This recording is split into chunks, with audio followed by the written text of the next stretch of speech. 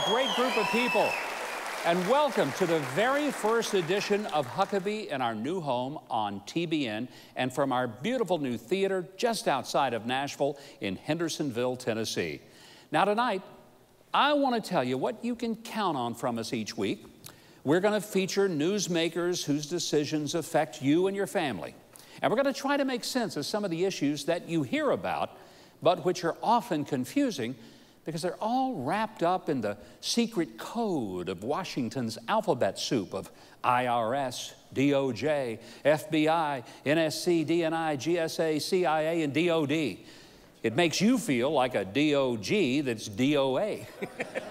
now, look, I'm not a journalist. I don't even play one on TV. I've got strong views, and I'll certainly express them. By the way, most of the people who say they are journalists, they really aren't.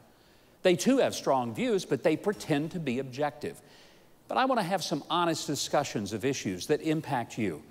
I don't want people yelling at each other and talking over each other. I am not interested in the horizontal political talk of the left, right, liberal, conservative, Democrat, Republican, where two opposing sides trade very predictable talking points at what's wrong with the other side, but which never gets to a solution. Instead of horizontal politics, we're going to focus on vertical politics, measuring ideas not by whether it's right or left, but whether it takes us up or down. I'm not going to try to raise your blood pressure to 300 over 200 by pushing your emotional buttons. We'll inform you, we're going to encourage you, we'll even entertain you. And there's going to be much more than politics and newsmakers on the show. We're going to bring you features about some great American treasures that we call Huck's Heroes, and also some of the towns in our heartland that you've never heard of, but which are a part of the fabric of our country.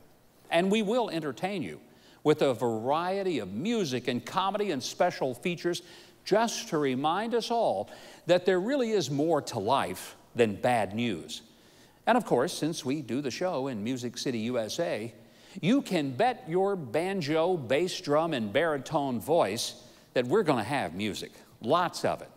And our very own band, Trey Corley and the Music City Connection, they're going to rock the house for our studio audience as well for our viewers at home.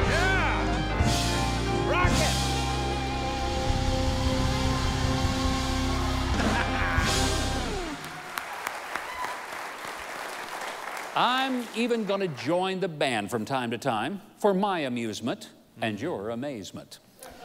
Now, am I good enough to play with these guys and some of our guest artists? Heck no. But hey, it's my show, so of course I get to join them. Well, joining us as our announcer is Keith Bilbrey, the longtime announcer at the Grand Ole Opry and disc jockey at WSM, the flagship radio station for the Opry. Keith, I cannot tell you how excited I am that you're part of our team. I'm excited to be here. On behalf of Nashville and Music City, we welcome you.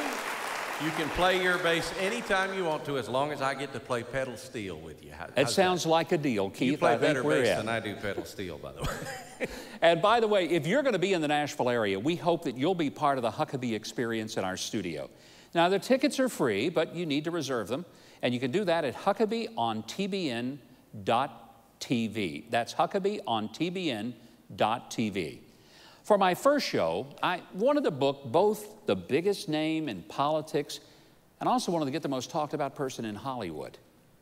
And we got him because he's the same person. You see, no one makes more news and gets talked about more on the news than our first guest, who is also our president, Donald Trump. wow. Now, whether you love him or don't, you can't ignore him. And we were honored to be invited to the White House for the first sit down exclusive interview with President Trump since he visited Puerto Rico and Las Vegas this week. We sat down with the president in the Roosevelt Room at the White House.